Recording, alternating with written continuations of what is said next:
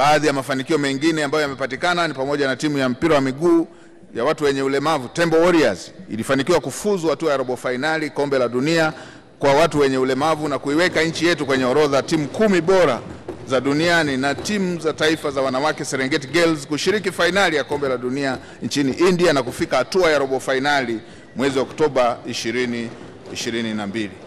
Mafanikio mengine yaliyopatikana ni pamoja na nchi kuwa mwenyeji wa, mku, wa mkutano mkuu wa 44 ya shirikisho la mpira wa miguu CAF ambayo imefanyika eh, hapa nchini.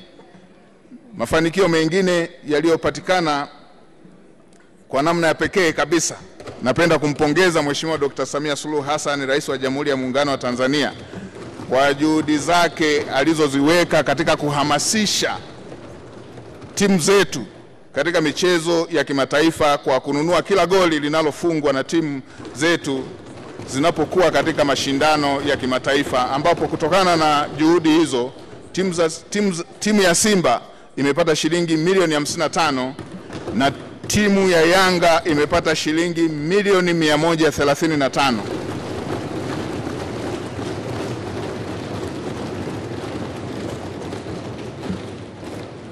Yanga oye!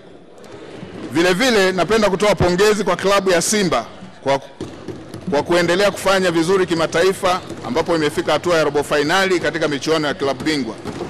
Aidha, kwa kipekee kabisa napenda kuipongeza timu ya Yanga kwa kufika hatua ya fainali katika kombe la shirikisho barani Afrika pamoja na kutoa mfungaji bora na kipa bora.